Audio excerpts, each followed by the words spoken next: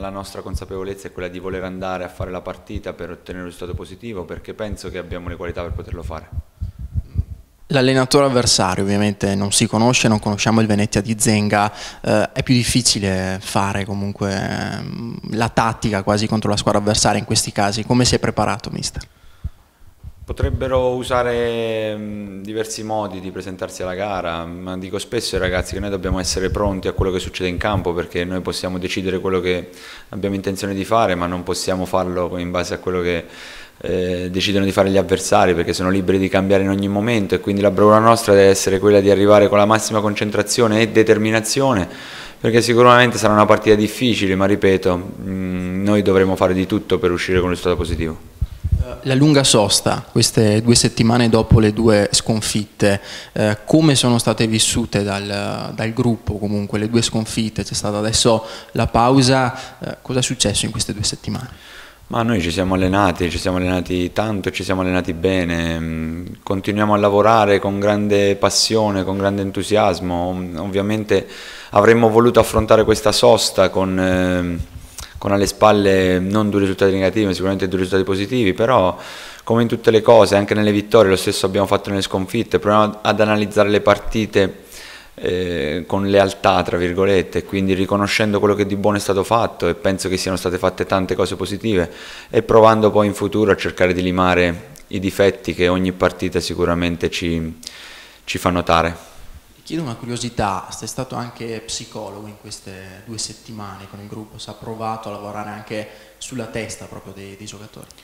Ma io provo a farlo quotidianamente perché um, ovviamente quando è un gruppo composto da tanti giocatori, ognuno ha il suo carattere, io non ho intenzione di cambiare il carattere di nessuno di loro, però um, abbiamo tutti quanti il desiderio di voler costruire una squadra forte perché abbiamo degli interpreti bravi, non ci dimentichiamo che abbiamo anche eh, diversi ragazzi giovani che hanno delle qualità ma che sicuramente si trovano eh, in un ambiente con, eh, con tante aspettative, quindi non è facile per nessuno, però sono convinto che questo mix, eh, quando riusciremo a trovare eh, l'amalgama giusta, saremo in grado di, di essere protagonisti di questo campionato parlato di amalgama, io le pongo un'altra questione, quella dell'ossatura. Eh, 21 giocatori in 8 giornate, questo è un po' il dato. Queste due settimane magari le sono anche servite per trovare eh, un'ossatura, alcuni riferimenti in più? Ma io quando parlo di amalgama non parlo di voler trovare 10 giocatori che poi disputeranno 40 partite, perché penso sia impossibile, impensabile. E noi abbiamo un numero eh, giusto di giocatori in rosa. Eh, e quindi la mia bravura deve essere quella di saperli proporre a turno perché tutti quanti hanno le qualità per poter far sì che questa squadra, cioè il Verona, possa essere protagonista di questo campionato. Quindi eh, ovviamente quando le cose, ci siamo già detti tante volte, quando le cose possono andare meno bene eh, si cerca di trovare quali possono essere le cause però io sono convinto di quello che, che noi stiamo facendo e mh, mm, abbiamo intenzione di migliorarci perché lo possiamo fare tantissimo ma sicuramente sono altrettanto convinto che tutti quanti saranno importanti per questo percorso. Come cambia il Verona senza Matos? C'è anche questa urgenza poi da, da, affrontare con il Venezia. Ma Rieder è un giocatore forte di questa squadra, è stato protagonista di questo inizio di campionato, è un peccato averlo perso perché eh, stava facendo molto bene, non solo nella partita in cui poi è uscito. E, e ovviamente ci è mancato, però stava facendo molto bene gli allenamenti, mm, era in continua crescita perché è un ragazzo che ha delle potenzialità enormi, che non è abituato a fare le partite piene ma che stava provandoci e che quindi sicuramente eh, stava facendo mm, grandi cose, ma come ho detto poco fa, proprio per, ehm, per il mio modo di intendere questo sport, eh, ovviamente io ho una squadra a disposizione, nella squadra ci sono tanti interpreti bravi che sicuramente sapranno sostituire al meglio Reader.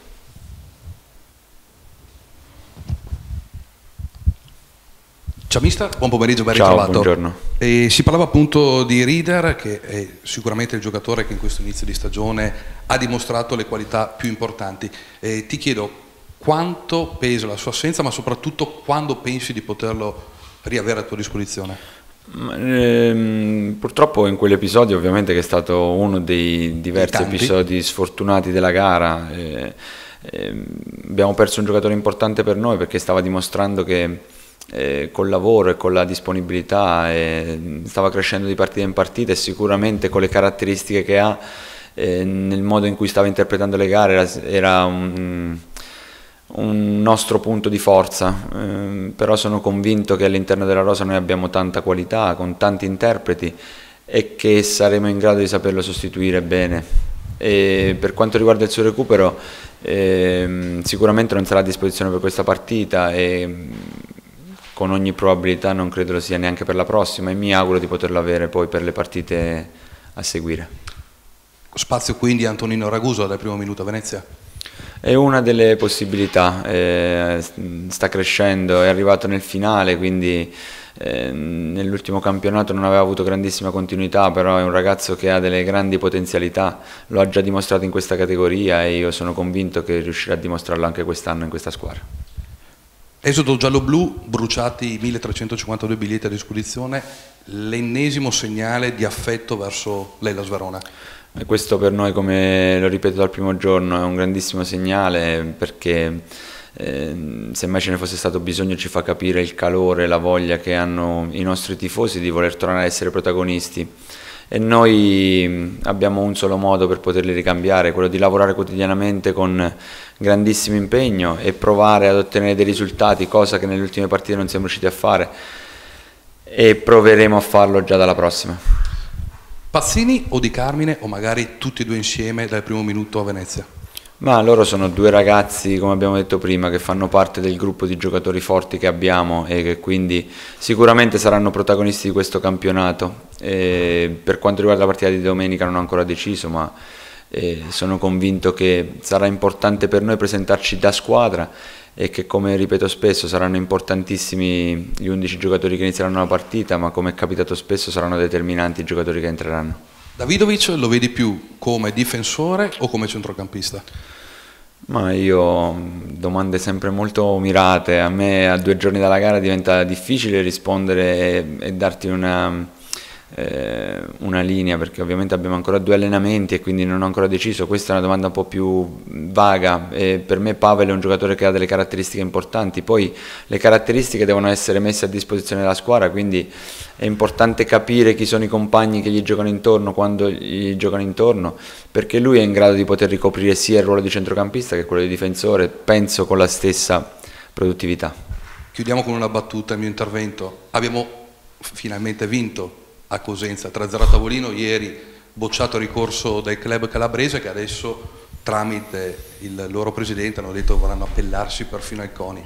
Insomma non gli è andata giù di averci fatto fare tanti chilometri per nulla e soprattutto di essersi presentati in una situazione professionisticamente parlando a dir poco insufficiente. Ma è un discorso che abbiamo affrontato poco, ma chi c'era sa quali sono state le nostre modalità in quella giornata perché avremmo potuto e voluto provare a spostarla, poi insomma sono successe tante cose, ora eh, il campionato è andato avanti, vedremo cosa succederà perché qua tra, ci saranno, sono tanti appelli, corsi e ricorsi, quindi noi siamo concentrati in quello che stiamo facendo perché abbiamo l'opportunità di poterci rifare dopo due partite andate storte e, e l'intenzione è quella di provarci da subito.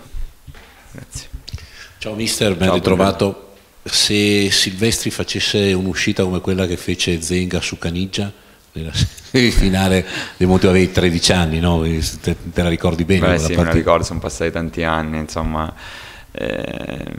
Eh, ricordo, ricordo, ricordo cioè, l'avrai vista quella partita, dove eri quando l'hai vista, insomma, poi insomma, tu a differenza Sì, sì, ora di... sinceramente mi hai colto un po' la sprovvista, però ero un ragazzino, ero giovane, facevo il tifo come tutti i ragazzini appassionati di questo sport e sicuramente quello è stato un momento che eh, ci ha portato alla delusione perché avremmo tutti quanti voluto fare una partita diversa e provare a vincere per giocare la finale, invece non ci siamo riusciti, però ora sono passati tanti anni e abbiamo altri pensieri, ovviamente i ricordi rimangono, però siamo proiettati a quello che dovrà essere, a non quello che è stato. Eh, magari Zenga ti dirà mannaggia tu l'hai vinto il mondiale, io no, insomma, nel senso che... Beh, poi semmai alla prossima conferenza ti confermerò questa riflessione. Ecco, che allenatore è lui? Che, come, che tipo di allenatore è proprio?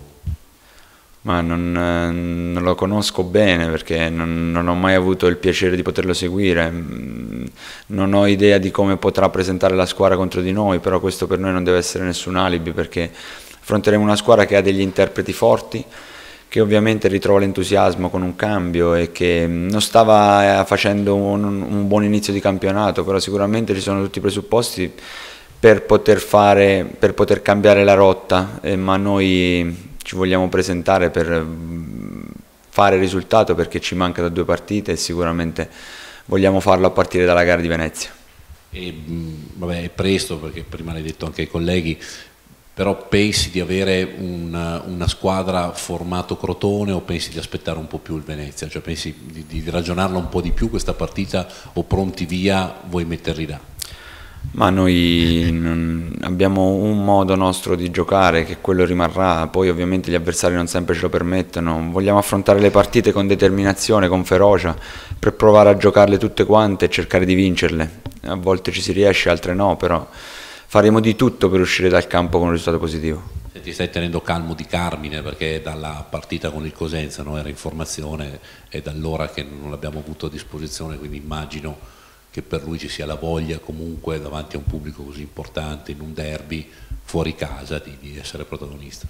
Ma siamo un giocatore importante per noi, mm, peccato averlo perso per diverse giornate, è tornato a disposizione e sono convinto che farà bene insieme a tutti i suoi compagni.